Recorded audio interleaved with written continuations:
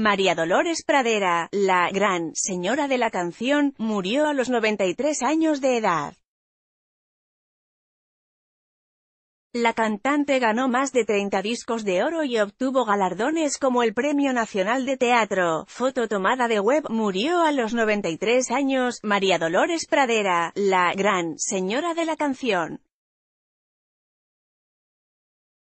A lo largo de prácticamente 70 años se dedicó a trabajar en los escenarios interpretando canciones españolas y latinoamericanas.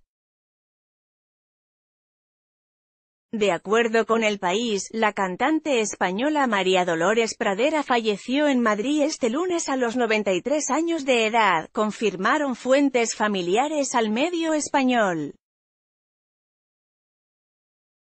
Pese a ello, no se especificó qué había causado el fallecimiento de la llamada «Gran Señora de la Canción», quien tiene a sus espaldas una larga trayectoria artística de casi 70 años.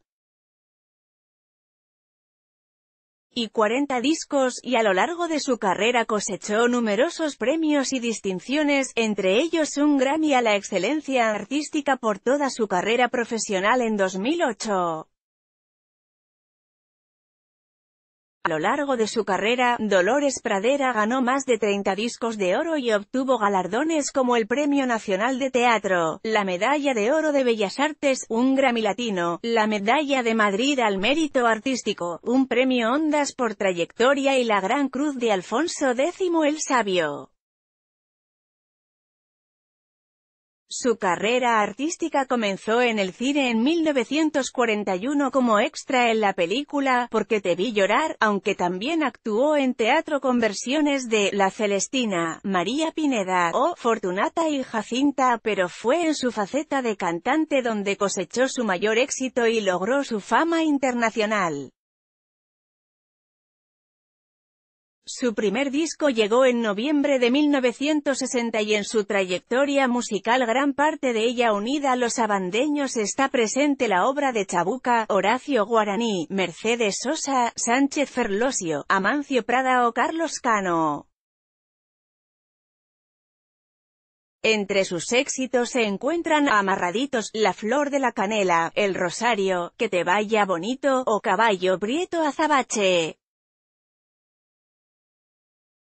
María Dolores Pradera ha interpretado también sus canciones a dúo con artistas de diversas generaciones como Rafael, Sabina, Miguel Bosé y ha colaborado con Enrique Bumburi, Amaya Montero o Ana Torroja.